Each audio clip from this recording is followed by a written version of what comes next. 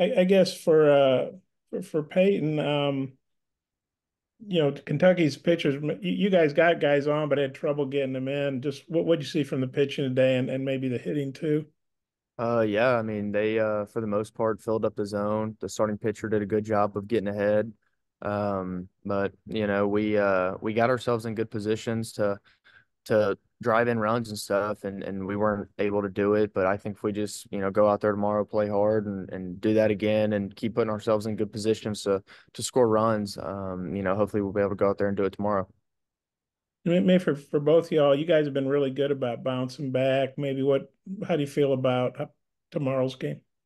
Yeah i mean um we're excited to play. Um you know it always we always want to win as many games as we can and um you know, I, I think that we just go out there, play hard, and um, you know, the rest will take care of itself. So we're looking forward to getting back out there. Kentucky's got a good team, and and so it's going to be fun and um, rubber match. So uh, it's kind of what you live for, and um, in, in college baseball and the SEC. So it's going to be fun, and we're looking forward to it. Coach. Hey Hudson, I'm just curious what you saw in your uh, your home run, and and it seems like you've been swinging the bat better of the last few games. Just kind of how, how are you feeling at the plate lately? Yeah, it felt good. Um, it's been feeling good. You know, I've been making a few adjustments. Um, you know, and just trying to stick with my approach and put a good swing on it. And what did you see out of Gage's outing today? It's the longest he's pitched, and uh, you know he just threw on Tuesday to, to come back and give you all this. Just what did you see out of out of him on the mound?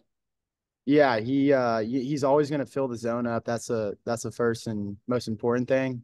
Is uh, he throws everything for a strike.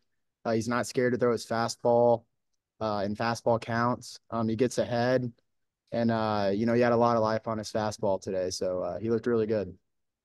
And you you've got a lot of history with Mason Molina, and and he's going to be back on the mound tomorrow. Just do you get the sense that he's kind of itching to get back out there? Yeah, you know he uh, he's a competitor. He loves to be out there, and uh, you know we missed him last week, but I'm just excited to see how he bounces back. Bob, you got anything else?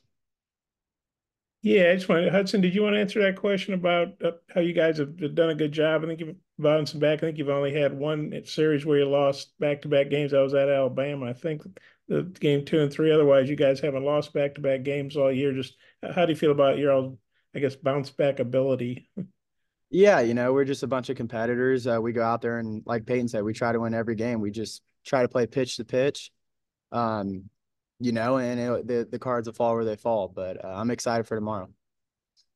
I'm good. Thanks. You guys appreciate your time.